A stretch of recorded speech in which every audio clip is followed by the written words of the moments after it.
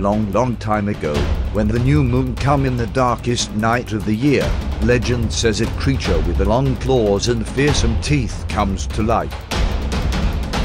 The dreaded night fears the villagers as the beast come out from its lair and sneak into the village, causing gruesome nightmare to the people.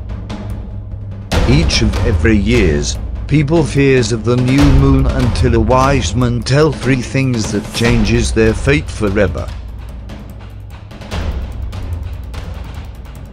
Number 1. Loud noises. The beast afraid of loud noises.